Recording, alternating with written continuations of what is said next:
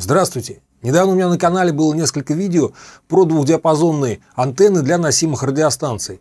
Много возникает вопросов про такие антенны. И я решил рассказать про антенны длиной примерно 35 сантиметров, вот такие вот антенны, в отдельном видео. Про эти антенны, про то, как они работают, вообще как они устроены. Почему именно про такие антенны. Существует очень много разных вариантов длины антенн для носимых радиостанций. Бывают очень маленькие, бывают вообще длинные, там метр и больше.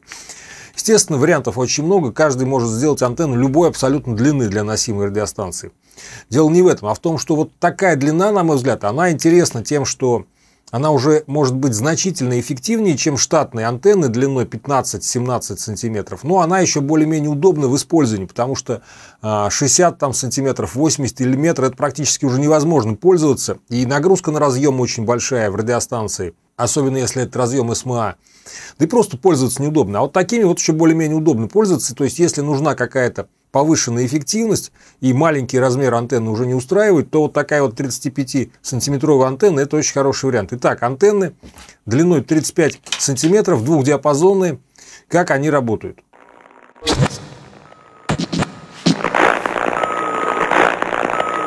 Прежде чем разбираться, как работают антенны, давайте сначала вспомним, что в первую очередь любая антенна – это всегда вариации на тему диполя.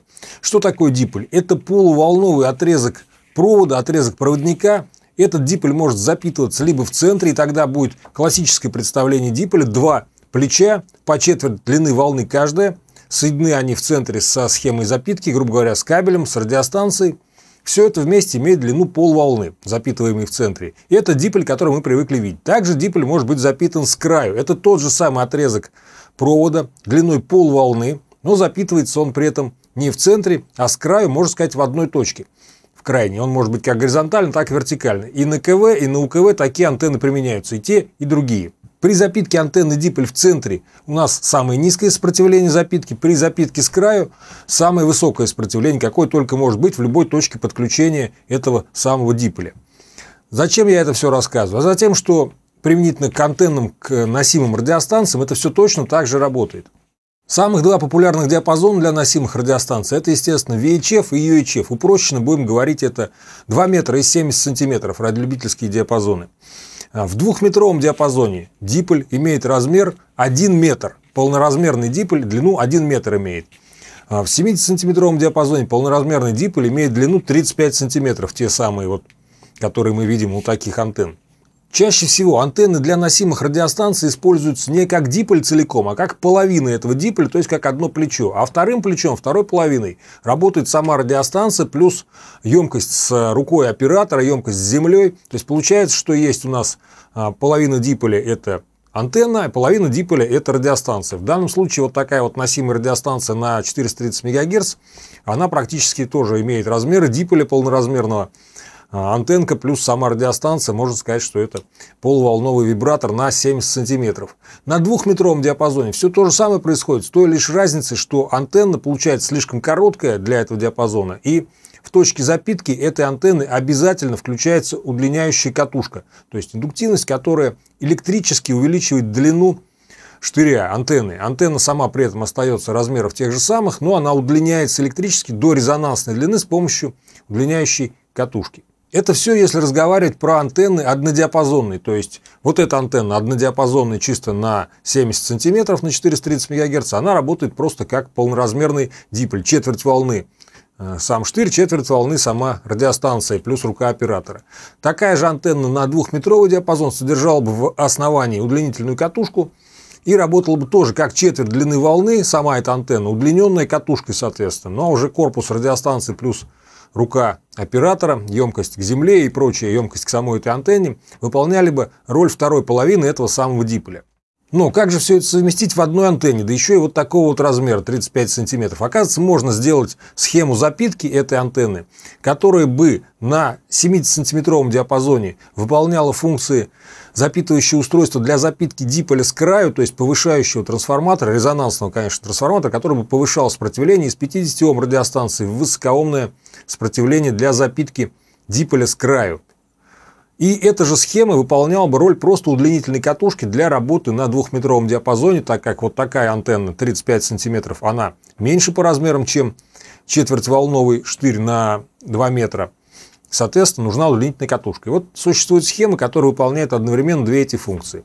Эта схема чаще всего и применяется при запитке антенн, имеющих вот такую длину порядка 35 сантиметров. Именно про такую длину я вам рассказываю, потому что эта длина еще и очень удобная для запитки антенны. Если бы антенна была не 35 сантиметров, а 45, например, то уже на 70-сантиметровом диапазоне она бы не так хорошо, не так удобно согласовывалась, не так удобно запитывалась. А так получается, что вот именно 35 сантиметров – это полуволновый вибратор на 70-сантиметровый диапазон и укороченный штырь на двухметровый диапазон, то есть половинка диполя на двухметровый диапазон, который удлиняется до полуметра удлинительной катушкой в основании. Теперь уже именно о том, как работает конкретно вот эта антенна Retevis 771. Я вам о ней рассказывал. Много других антенн есть тоже такой же длины. Например, антенна от китайской радиостанции с русским названием Байкал. Абсолютно такую же длину имеет и устроена точно так же, работает так же. Значит, 35 сантиметров антенна. Как бы она была устроена, если бы она работала только на одном диапазоне 2 метра, на диапазоне VHF. Антенна длиной 35 сантиметров, чтобы нормально работала, резонировала на двухметровом диапазоне, должна иметь в основании одну лишь удлинительную, удлиняющую катушку. Что значит удлиняющая катушка? Это значит индуктивность, включенная последовательно с штырем, с антенной и с точкой запитки. Такая катушка доводит электрическую длину вот этого штыря до четверти длины волны. То есть до полуметра. Если бы этот штырь был длиной полметра, то его не нужно было бы удлинять удлиняющей катушкой, а поскольку этот штырь короче, чем полметра, то с помощью катушки его электрическая длина доводится до размеров полметра. Полметра – это четверть длины волны для двухметрового диапазона. И получается у нас некий диполь, состоящий из удлиненного катушкой вот этого отрезка провода 35 сантиметров. И вторая половина диполя – это корпус радиостанции, рука оператора и так далее. Так антенна работает на двухметровом диапазоне. Все очень просто. Если бы эта антенна была чисто на диапазон 70 сантиметров, на диапазон UHF, только на этот диапазон, то она бы должна была содержать в своем составе повышающий трансформатор. Чаще всего в качестве такого трансформатора используется резонансный контур, в отвод которого включается низкоомный источник сигнала, например, а, радиостанция включалась бы в отвод этого контура. А в горячий конец контура, где максимально высокая сопротивления включалась бы полуволновая антенна, полуволновый вибратор 35-34 сантиметра. 35 а, сантиметров имеет длину антенна вместе с разъемом, с устройством запитки, может быть с каким-то колпачком вот здесь вот. А сам излучающий штырь обычно имеет короче длину 33-34 сантиметра. И вот такая вот антенна была бы полуволновым вибратором, запитываемым с краю с помощью повышающего трансформатора, сделанного на контуре. Такая антенна не использовала бы корпус радиостанции, руку оператора в качестве противовеса, в качестве второй половины диполя. То есть эта антенна самодостаточная, она не зависит от того, как мы держим радиостанцию, держим ее рукой или вообще поставили на стол. То есть ни от чего не зависит, она самодостаточная, сама по себе работает. Антенна полволны на 70-сантиметровый диапазон с запиткой, повышающим трансформатором из контура. Теперь о том, как совместить эти две антенны в одну, чтобы она работала сразу на двух диапазонах. В простейшем случае просто удлинительная катушка, включенная в основание вот такой вот антенны, она позволит этой антенне работать не только на двухметровом диапазоне, но и на 70-сантиметровом, так как 70 сантиметров это ровно в три раза выше частота, чем 2 метра. Антенна ровно в три раза короче должна быть, и у нее на третьей гармонике будет точно такой же резонанс. Но на самом деле эффективность антенны при этом будет немного ниже. Во-первых. Во-вторых, э, сопротивление ее не будет близко к 50 Ом, то есть КСВ будет значительный, если он, конечно, вам важен у антенны относимой радиостанции. Встречается много дешевых китайских антенн, как некоторые скажут, подделок. Ну, я считаю, что просто дешевые китайские, подделки под что? Под другие дешевые китайские? Не знаю. В общем, встречаются дешевые китайские антенны, которые действительно содержат при таких вот размерах только лишь одну катушку в основании. За счет этого они работают как а, удлиненная с помощью удлиняющей катушки а, штыревая антенна на двухметровом диапазоне и на третьей гармонике они работают на 70-сантиметровом диапазоне. Но полноценная схема запитки немножко сложнее. Она должна содержать еще и емкость. На 70-сантиметровом диапазоне схема запитки в виде контура, в которой радиостанция включается в отвод, она не может работать одновременно на двух диапазонах. Этот контур резонирует исключительно на своей частоте, в узкой полосе частот работает и, конечно же, не пропустит сигналы на частоте в три раза меньше, то есть на двухметровом диапазоне. Поэтому прямо так непосредственно контур для запитки полуволновой антенны на 70-сантиметровом диапазоне на двухметровом диапазоне использовать нельзя. Казалось, простой выход есть из ситуации. В этом контуре, если исключить нижнюю его часть, нижнюю часть катушки, и оставить только лишь ту часть катушки, которая идет от э, точки запитки до антенны, и оставить ту же самую емкость, то он тоже будет работать практически как повышающий трансформатор, как контур резонансный, который запитали не в отвод, а в который включились в разрыв, так скажем, этого контура. У него точно так же будет высокое сопротивление при резонансе в точке соединения емкости с индуктивностью. И вот в этой точке включается как раз у нас полуволновый вибратор 35 сантиметров, 34 сантиметра. На 70-сантиметровом диапазоне все точно так же работает. На двухметровом диапазоне эта катушка контура продолжает работать, и она становится удлиняющей катушкой для того, чтобы удлинить 35-сантиметровый, 34-сантиметровый штырь до длины полуметра, до четверти длины волны. А емкость просто не мешает, не участвует. Емкость очень маленькая, единицы пикофарад. Вот такая вот схема запитки. Достаточно простая, всего две детали. Емкость и индуктивность. И такая антенна работает в двух диапазонах сразу. В 70-сантиметровом как полволны, самодостаточная антенна, не использующая корпус радиостанции как противовес. А в двухметровом как удлиненная удлиняющая катушка, вернее укороченная, конечно же, укороченная антенна с удлиняющей катушкой в основании, которая с помощью этой катушки удлиняется до длины полметра. На антенном анализаторе очень четко видно два резонанса таких антенн, и на обоих резонансах КСВ очень низкий, близкий к единице. Вот, например, у меня сейчас в разобранном виде антенна от двух диапазонных профессиональных радиостанций «Гранит» подключена, гибкий штырь без внешней какой-то изоляции, просто у меня в разобранном виде. И подобные тоже схемы запитки.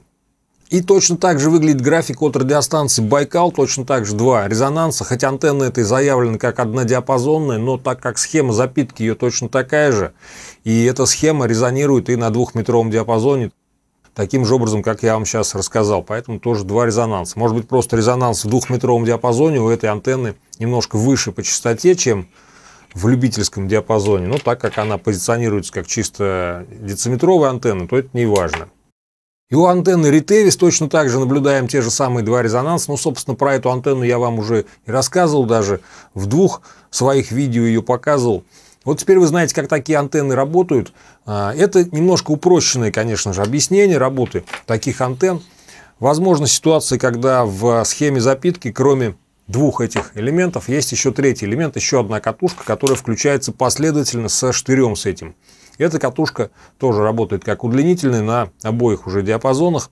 И на 70-сантиметровом, если этот штырь будет не длиной 35 сантиметров, а немного короче. Ну и также она продолжает работать как удлинительный на двухметровом диапазоне.